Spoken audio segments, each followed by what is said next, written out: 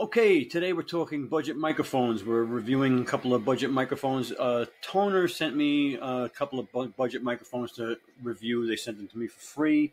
So, full disclosure uh, this one is the TC777. We're using it right now. We're recording with it right now. Came with a, a desk stand, tripod stand, uh, the microphone, a shock mount, and a pop filter, all all pretty much assembled. Comes with a two year warranty right there on the box, two year warranty. And uh, you know, how does it sound? How's the how's the audio sound? Um, there's no adjustments on the microphone. There's no you know cough button or mute button.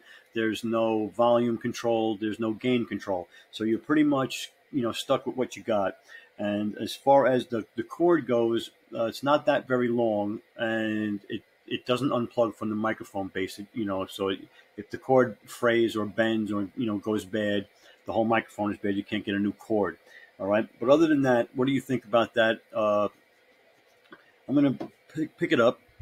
So this is us talking into it. Now this is me getting close to it right we'll do the pop filter all right?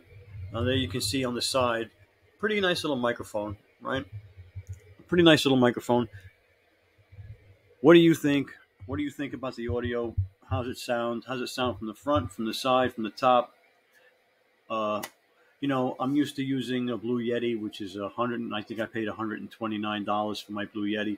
Uh, USB plug and play. This is USB plug and play. You don't need any software to use it. It just plugs in, and, and but you're at the mercy of the settings because there's no adjustments to it.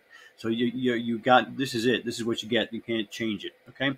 So what do you think? Leave a comment in the, in the comment section. What do you think of this microphone? Check out the price. Go check it. I don't know what what it's going to be when you're watching the video, but it's considerably less than a Blue Yeti microphone. And if you're just getting started and looking for uh, you know budget equipment to get started this might be for you this might be what you're looking for okay? And again if you get close to the microphone and talking to the pop filter you know you, uh, i don't know that might be a more crisp sound might might sound a little better. All right what do you think? Let me know. Talk to you soon. We're going to move on to the next review and uh, see you there